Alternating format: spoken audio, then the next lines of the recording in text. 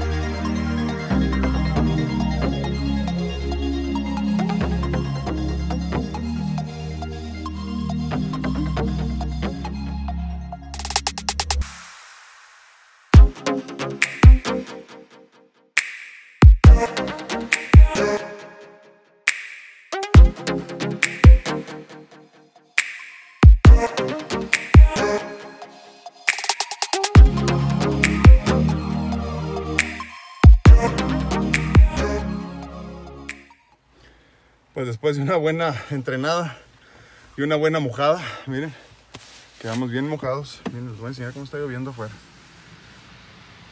Está fuerte la lluvia. Pues nos fue muy bien. Eh, definitivamente le comentaba al coach que para mí es increíble lo mucho que he avanzado hasta ahorita. Eh, yo tenía expectativas, tenía sueños, tenía ilusiones de, de hasta dónde podía llegar. Pero pero no creo que solo hubiera podido alcanzar estos niveles definitivamente. Eh, ha sido una bendición estar entrenando con él, sobre todo eh, porque es muy considerado eh, con mi situación, entonces me, apoya, me apoya bastante con mis limitaciones sobre todo. Entonces, definitivamente les repito lo mismo que, les decía ayer y antier y todos los días. Dios te acomoda donde tienes que estar y, no se equivoca cuando pone personas en tu camino. ¿no? Y, y, así me pasa con el coach Porfirio Galvez aquí en, en Esparta 55, en La Gloria, en la ciudad de Tijuana. Eh, poco a poco hemos ido avanzando, eh, eh, cada vez eh, creo que tenemos más metas, más, eh, porque se abren más posibilidades en cada día que estamos entrenando. ¿no? yo por mi parte en mi casa no dejo de hacer lo mío. Son tres días a la semana que estoy aquí con él, pero pero los otros cuatro días, a veces tres, ¿verdad? Pero, pero casi siempre cuatro, eh, porque siete días a la semana hago físicamente algo, eh, ya sea un poco de pesas ligeras, caminar, trotar y ahorita todo ese tipo de cosas, y luego el entrenamiento más integral que me, que me hace favor de, de, de, darme el coach aquí, pues definitivamente están haciendo el cambio, ¿no? Y, y poco a poco, como les digo, ya se ven posibles muchas más metas, ¿no? Entonces, pues, esperemos a ver qué nos, qué nos depara el destino, qué decide el Eterno, porque yo por mi cuenta estaré echándole muchas ganas. ¿Cómo te fue a ti, hija? Muy bien. ¿Cómo te sentiste? Acá porque no te vemos. Bien. ¿No te cansaste, verdad? Más o menos. Mm, yo creo que no te cansaste. Pues bueno, yo soy su amigo Alfredo Castañeda y ella es... Mónica. Mónica, mi hija. No me rindo jamás. No me doy por vencido nunca. Detesto la mediocridad. Y sigo luchando por hacer mis sueños realidad. El más importante de ellos, como les decía hace un rato, seguir con vida, por lo menos un día más. Y lo estamos logrando. Hubo una promesa de vida en abundancia y la estamos disfrutando. Cuídense mucho, que Dios los bendiga. Nos vemos y nos escuchamos el día de mañana. Adiós. Adiós.